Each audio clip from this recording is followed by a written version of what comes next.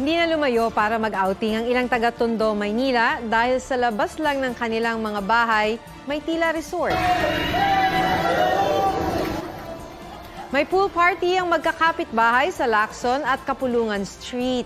Enjoy ang mga residenteng mag-swimming sa makukulay na inflatable pools. Pampawi raw nila ito sa maalinsangan at mainit na panahon. Pero binaklas na rin daw nila lahat kanina para lumuwag ang mga kalsada ngayong patapos na ang mahabang bakasyon. Paalala naman ng DOH, siguruhing malinis ang tubig na pagliliguan para iwas sakit.